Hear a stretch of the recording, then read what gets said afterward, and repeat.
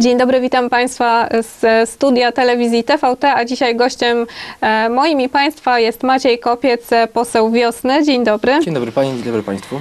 E, Troszeczkę chcielibyśmy e, porozmawiać, a właściwie pogadać o gańbie. Czy Panu jest gańba, czy Panu jest wstyd czasem pogadać publicznie na Wiejskiej w Sejmie? Godka jest piękna i nie ma mi absolutnie gańba godać po śląsku. Czy to we Sejmie, czy, czy, czy u mnie sam w doma. Pytam o to e, dlatego, że w piątek obradowała e, komisja, która zajmuje się e, językiem śląskim, a właściwie tym, żeby ten język śląski ustanowić. No i co w związku z tym? Co po tych obradach? To było takie pierwsze posiedzenie w tym roku. Znaczy pierwsze w tym składzie, ponieważ e, Śląsk zyskał kilku reprezentantów i reprezentantek w Sejmie i w Europarlamencie, jak wszyscy wiemy. E, Ten skład prośląskich polityków i polityczek się bardzo poszerzył. Mamy wicemarszałkinię Nowicką, mamy posła Koniecznego z Katowic, z partii Razem, mamy europosła Łukasza Kochuta z Wiosny, którzy wszyscy za, za tym językiem śląskim lobbują i ten zespół się w tym roku bardzo poszerzył, co mnie bardzo cieszy. Złożyliśmy projekt autorstwa Moniki Rosy po raz kolejny e, o uznanie języka śląskiego za język regionalny i po prostu będziemy pracować nad tym, żeby udowadniać, że mamy swój język, mamy swoją tożsamość i że ta tożsamość jest dla, dla nas bardzo ważna. E, To, że ten projekt e, już jest, to tak jak Pan wspomniał, on jest już od dawna, ale za każdym razem, kiedy wraca do Sejmu, kończy się tylko na dyskusji i nic więcej się nie dzieje. E, Czy teraz macie plan na to, żeby jednak coś więcej e, się podziało, żeby poszła za tym jednak ta ustawa? Nie mamy większości. Niestety Polska cały czas boi się tego, że te różnice, które występują na jej obszarze, mogą ją scalać i, to, i, i te różnice, które występują i które tak naprawdę powodują, że jesteśmy e, piękni w tej różnorodności, że to jest wartość dodana, że to nie jest żadne zagrożenie dla polskości czy dla narodowości polskiej. My chcemy po prostu być e, elementem jednej Polski, ale chcemy być sobą, chcemy mieć możliwość mówienia w swoim języku, chcemy mieć możliwość budowania naszej kultury i chcemy mieć możliwość, żeby ta kultura ubogacała Polskę. Tego nikt tam nie rozumie w Warszawie niestety. Mm, No i właśnie, skąd się to niezrozumienie e, bierze? Ma Pan na to e, swoje wytłumaczenie? Znaczy, ja tego nie rozumiem, bo to jest kompletnie nie mój punkt widzenia. Ja uważam, że taka, taka Europa regionów y, jest jedynie, jedynym takim, taką, taką możliwością, żeby ta Europa była silna. Tak samo Polska. Uważam, że Polska regionów to jest jedyna recepta na sprawne i ciekawe państwo kulturowo. Ja tego nie rozumiem, dlaczego nie może być tak, jak y, na przykład Kaszubi, którzy zostali uznani za naród, mają swój język. Jest ich 240 tysięcy, nas jest 850 tysięcy. I od czasu, jak e, Kaszubi mają swój język, nie stało się nic. Po prostu nie stało się nic negatywnego w skali kraju, prawda? Są narodowością i super, mają swój język. Też byśmy chcieli tak właśnie jak oni. Ale to niezrozumienie dla Śląska i śląskiej mowy e, jednak jest, skoro Jest. ta ustawa jest e, tak traktowana nie do końca sprawiedliwie, to mm, skąd się biorą takie przykre uwagi? Czy Pana bezpośrednio kiedyś spotkały przykre uwagi na temat tego godania? Jesteśmy jako Ślązacy traktowani trochę gorzej niż e, inni mieszkańcy Polski, niestety. E, to wynika może z różnic kulturowych. Pracujemy w e, innym stylu niż, e, niż, niż e, reszta kraju. Pracujemy, jesteśmy bardziej poukładani, pracujemy w mniejszym chaosie. Mamy swój taki mm, archetyp pracy. To, że przez tyle lat mówiło się o języku, nie wiem czy pani wie, jak to było w domach na Śląsku, pewnie pani wie, e, jak dzieci mówiły po śląsku, mówiło się mów ładnie a ją godą, że godej pięknie, a nie mów ładnie. Tak, tak, i, i, to, I to właśnie w tych, tych narracjach dominowało, że to mówienie po śląsku jest czymś gorszym, że jesteśmy w jakiś sposób e, upośledzeni swoim językiem, a nie jesteśmy. To jest coś wspaniałego mówić po śląsku. E, No dobrze, panie pośle, no to przetestujmy, e, czy ta gwara faktycznie jest na dobrym Spróbujmy. poziomie. W Antreju na byfeju stoi szolka tyju. Co to znaczy? W przedpokoju na kredensie stoi szklanka herbaty. Dobra, kolejne. No to może daj pozór. Uważaj. Dobrze, no to test zdany, skoro faktycznie ta mowa jest, e, to co? Gotka. Gotka, właściwie gotka i śląskie godanie, no to zastanówmy się, e, co za tym powinno iść. Jeżeli już faktycznie e, zostanie przegłosowana taka ustawa i ten język śląski zostanie ustanowiony, no to co nam to da Ślązakom? Będziemy mogli mieć swoją tożsamość, będziemy mogli pisać maturę w języku śląskim, będziemy mogli mówić, że to jest nasze dziedzictwo, że to jest język naszych e, nie tylko przodków i nas, tylko też język naszych dzieci, który będzie skodyfikowany, którego będą się mogły nauczać i który będzie żył, będzie się zmieniał i będzie ciągle żywy. E, Pan reprezentuje taką młodą krew e, w Sejmie e, i jako ta młodość, świeżość, co chciałby Pan tam wnieść? Przede wszystkim właśnie zrozumienie dla takiego społeczeństwa nowoczesnego i obywatelskiego, które jest zjednoczone dzięki różnicom. Że nie ma wśród nas ludzi gorszych, lepszych. Nie dzielimy tego społeczeństwa w żaden sposób. Jesteśmy jedną całością i razem budujemy naszą przyszłość. E, I da się ten e, dialog prowadzić, jeżeli e, co rusz pojawiają się jakieś uwagi, bo zarał Pan ze sobą, bo rozmawialiśmy, do Pana i innych posłów dotarła, dotarł taki Tak. wiersz, może przytoczmy go tutaj, Tak. który troszeczkę tak obraźliwie traktuje ten nasz śląski tutaj ród. To jest korespondencja, która trafiła do naszych skrytek sejmowych, więc to jest, to jest takie miejsce, w którym mm, Kancelaria Sejmu dokładnie sprawdza, co tam się znajduje. Myśmy umieszczali jakiś czas temu kartki antysmogowe e, w tych skrytkach właśnie i musieliśmy zgłosić do Kancelarii Sejmu, co tam jest na tych kartkach. Oni to musieli przejrzeć i zaakceptować i dopiero potem trafiło to do naszych skrytek, więc sądzę, że taki tomik się ukazał pana Ryszarda Izdebskiego o nazwie Iskra w Nadziei. Myślę, że on też był właśnie tak dokładnie sprawdzony.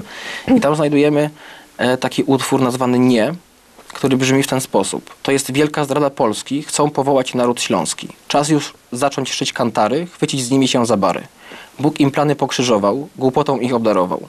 Chociaż wymienią ludzi wielu, nadal będą tkwić w burdelu. Pomodlić się przed obrazem, a głupotę wytruć gazem. Ale Polak głupi nie jest, pokazał im Kozakiewicza gest. No Więc- i co z tym zrobić? Takie traktowanie Śląska e, za pomocą gestu Kozakiewicza, no to jest skandal dla mnie. To jest kompletny skandal. Nie wiem, jakim prawem to się w ogóle znalazło w skrytkach sejmowych, jakim prawem się to znalazło w ogóle w budynku Sejmu. I czy ten e, wiersz dotarł tylko do posłów ze Śląska, czy Nie mam pojęcia. Nie mam pojęcia, ponieważ ja go znalazłem e, na posiedzeniu Sejmu w swojej skrytce i nawet nie zwróciłem uwagi na to, co tam w tym, te, w tym tomiku się znajduje. Później dopiero zacząłem wieczorem przeglądać korespondencję i przejrzałem też ten tomik e, z tą poezją i z tą pseudopoezją. No i byłem w ciężkim szoku. Naprawdę, I- tak, tak nas traktują w Warszawie. Na to się zgadza Sejm? Dla mnie to jest nienormalne. coś Państwo mogą z tym zrobić? Nie wiem, nie mam pojęcia, czy możemy coś z tym zrobić. Na pewno zgłoszę to do marszałkini Sejmu z prośbą o zdecydowaną reakcję. E, Ci starsi e, i bardziej doświadczeni posłowie, e, którzy już trochę otarli się też o tą śląską tematykę, oni chętnie na ten temat dyskutują, czy już raczej machają na to ręką? Nie, nie machają na to ręką. Na przykład pani Gabriela Lenartowicz, która jest w naszym zespole do spraw kultury śląskiej i języka śląskiego, była na posiedzeniu ostatnio, wspierała nas bardzo. To są posłowie wielokadencyjni. Poseł Marek Cząkała, który jest też naszego okręgu i jest w tym zespole. Dziękuję bardzo za to, że, że, że są w tym zespole. E, pomagają nam, kibicują nam i pracują razem z nami. Więc nie spotkałem się z taką reakcją y, posłów ze Śląska, którzy by na to machali ręką. A ci spoza Śląska? E, Maciej Konieczny, Lewica, Katowice, e, poseł, który jest bardzo naszym wielkim sojusznikiem. Marszałkini Wanda Nowicka, która też kibicuje, wspiera nas w naszych działaniach. Generalnie, jeżeli rozmawiamy z ludźmi z tej opcji oczywiście prodemokratycznej, ponieważ z pisem o języku śląskim nie dyskutujemy. E, niestety parlamentarzyści, nawet jak w kuluarach mówią, że są Ślązakami, to niestety to nie idzie za tym nic konkretnego, nie działają w żaden sposób w swojej partii na rzecz lobbingu, na rzecz języka śląskiego czy kultury śląskiej. E, Nie spotkałem się z e, tymi ludźmi, z którymi rozmawiam i którym tłumaczę e, swoją śląskość, mówię o niej, nie spotkałem się z żadnymi negatywnymi reakcjami póki co. Zostańmy jeszcze mm, na śląskim podwórku dalej, a właściwie na tym rybnickim, bo e, pan był również, panie pośle, zwolennikiem tego, żeby tutaj w Rybniku powstał pomnik tragedii górnośląskiej. No i faktycznie ten pomnik powstanie, Tak. uchwała w tej sprawie została podjęta. Dlaczego to jest takie ważne? Ponieważ o tej tragedii nikt nie wie tak naprawdę. Mam takie wrażenie, że mm, Polacy tą, także tą tragedię zamiatają pod dywan. E, Nie ma jej w podręcznikach e, historii w szkołach polskich. Nie mówi się o niej. Ludzie są zdziwieni, gdy mówi się o tragedii górnośląskiej jako o tragedii, która miała miejsce już po wojnie. Jak mówi się o tym, że były to polsko-komunistyczne obozy zagłady, to ludzie mają naprawdę duże oczy, są bardzo zdziwieni.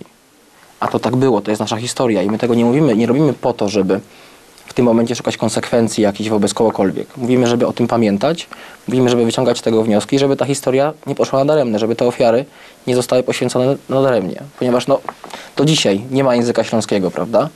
Do dzisiaj ktoś nas nie rozumie.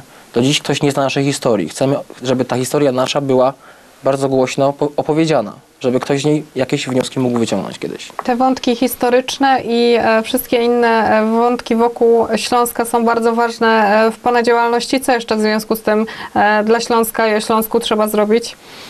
Przede wszystkim o Śląsk trzeba dbać. O Śląsku trzeba mówić. Trzeba pokazywać, że Ślązacy potrafią robić niesamowite rzeczy. Że jesteśmy narodem pracowitym i mądrym. Że mamy swój, swój, swój jakby dobytek i kulturowy, i e, ekonomiczny. Mamy swoją trudną historię, że byliśmy zawsze takim jakby miksem kultur i się w nim świetnie odnajdywaliśmy. Em, Muszę nawiązać w związku z tym do tego em, jednego z takich punktów e, też e, Pana działalności, e, bo Śląsk jest taki bardzo konserwatywny, e, też e, bardzo religijny, e, a w jednym z Pana założeń jest e, to, żeby było państwo państwem świeckim. Tak. Czy to da się pogodzić? Oczywiście, że tak, ponieważ W jaki ja sposób? mm, w żaden sposób nie krytykuję ludzi wierzących. Ja mówię o ekonomicznym rozdziale Kościoła od państwa, o prawnym rozdziale Kościoła, kościoła od państwa. Mówię o tym, żeby księża byli rozliczani za, za przestępstwa, jeśli je popełniają, tak samo jak każdy inny obywatel. Chcę, żeby y, ksiądz płacił podatki, jak każdy inny przedsiębiorca, no bo nie, byłem przedsiębiorcą przez y, wiele lat. Nie wyobrażam sobie tego, że y, biorę od klientów pieniądze, których nie rozliczam. A księża właśnie tak działają i tylko o tym mówię. Jeżeli chodzi o wiarę, to jest to sprawa indywi- indywidualna każdego człowieka. Nie można do wiary nikogo zmuszać i też nie wolno, nie wolno nikomu jej zabraniać.